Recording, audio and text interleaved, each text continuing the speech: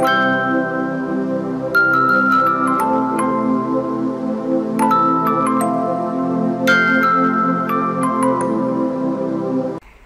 mừng quý vị và các bạn đã đến với bản tin dự báo thời tiết của chúng tôi trên kênh PDP Mở đầu bản tin dự báo thời tiết hôm nay và ngày mai là bản tin cập nhật diễn biến cực kỳ nguy hiểm nhất của cơn bão số 3.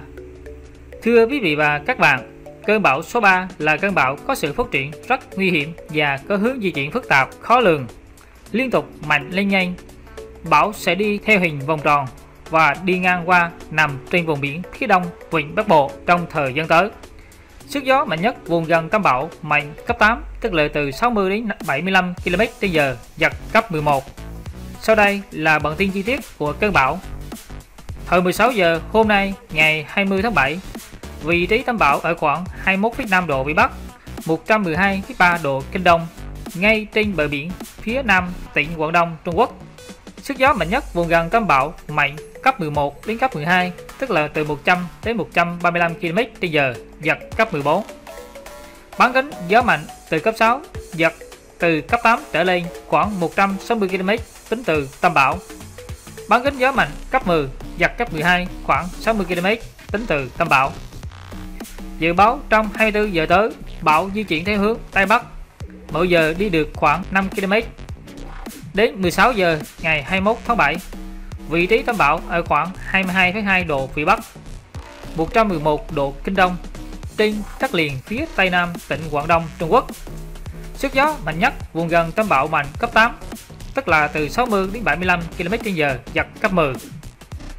Vùng nguy hiểm trên Biển Đông trong 24 giờ tới, gió mạnh từ cấp 6, giật từ cấp 8 trở lên, phía vị tuyến 19 phía Nam độ Vĩ Bắc, từ kinh tuyến 110 đến 114 độ Kinh Đông, toàn bộ tàu thuyền hoạt động trong vùng nguy hiểm đều có nguy cơ cao chịu tác động của gió mạnh, sóng lớn và lốc xoáy.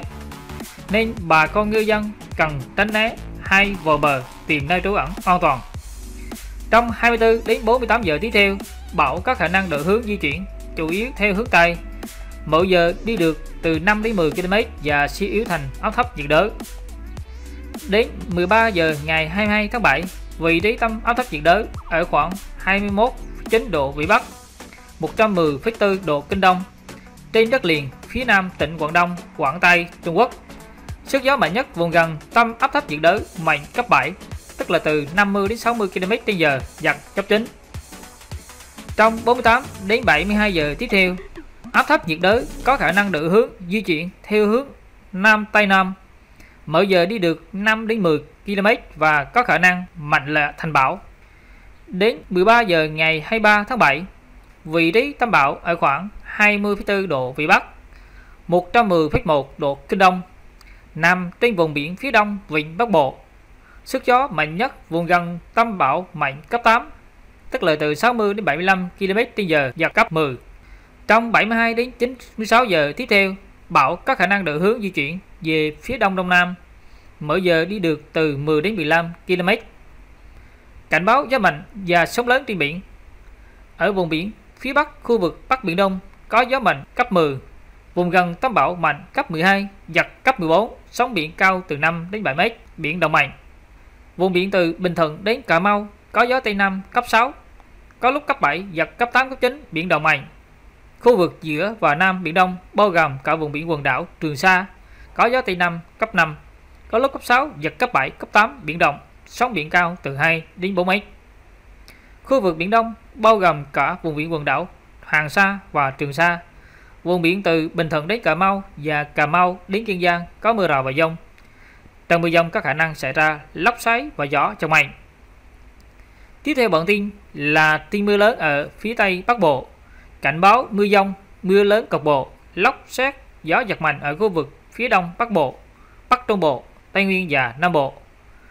Thưa quý vị và các bạn, hiện nay ngày 19 tháng 7, ở khu vực Tây Bắc và Việt Bắc, Bắc Bộ tiếp tục có mưa rào và dông. Cục bộ có mưa vừa đến mưa to, một số nơi có lượng mưa rất lớn. Dự báo do ảnh hưởng của rãnh áp thấp có trục đi qua Bắc Bộ nối với cơn bão số 3 kết hợp với hội tụ gió lên đến 5.000 m. Nên trong đêm nay và ngày mai, ở phía Tây Bắc Bộ có mưa vừa, mưa to, có nơi mưa rất to, với lượng mưa phổ biến từ 20 đến 40 mm trên 24 giờ, có nơi trên 60 mm trên 24 giờ. Ở phía đông Bắc Bộ và Bắc Đông Bộ có mưa rào và dông rải rác, cục bộ có mưa vừa, mưa to. Thời gian mưa tập trung vào chiều tối và đêm. Trong mưa dông có khả năng xảy ra lốc xét và gió giật mạnh. Bà con cần đề phòng nguy cơ xảy ra lũ quét, sạt lở đất và ngập úng cục bộ tại các tỉnh miền núi.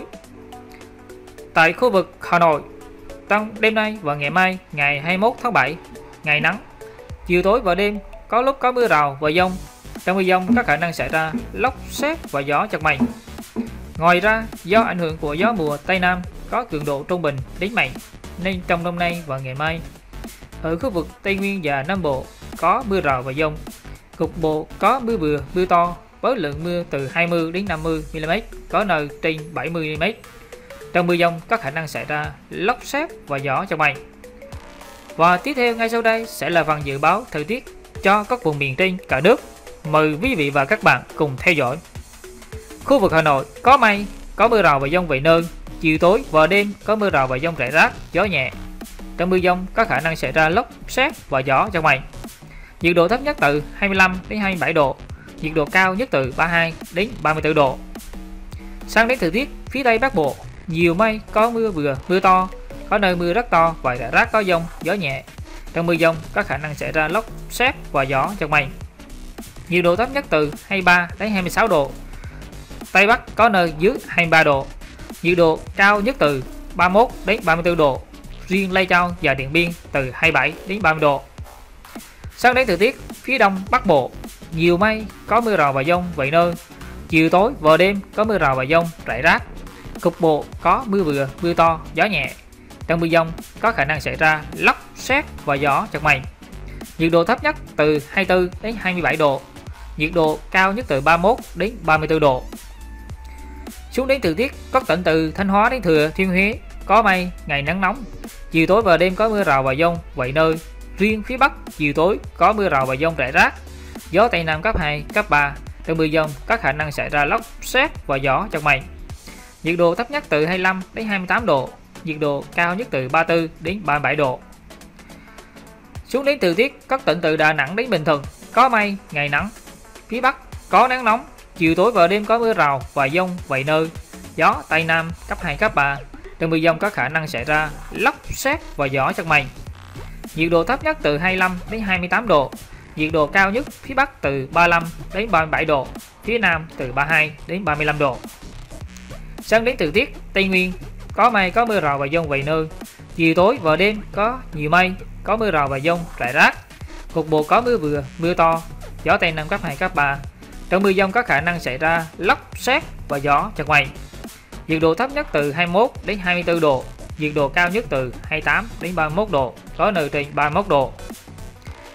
Lui xuống thời tiết các tỉnh Nam Bộ, nhiều mây, đêm có mưa vừa, mưa to, có nơi mưa rất to và rải rác có dông, ngày có mưa rào và dông, rải rác. Gió Tây Nam cấp 2, cấp 3. Trong mưa dông có khả năng xảy ra lốc xét và gió giật mạnh. Nhiệt độ thấp nhất từ 23 đến 26 độ, nhiệt độ cao nhất từ 30 đến 33 độ, có nơi trên 33 độ. Bản tin dự báo, thời tiết ngày hôm nay đến đây đã hết. Cảm ơn quý vị và các bạn đã dành thời gian theo dõi. Thân ái chào tạm biệt và hẹn gặp lại quý vị và các bạn trong những bản tin tiếp theo.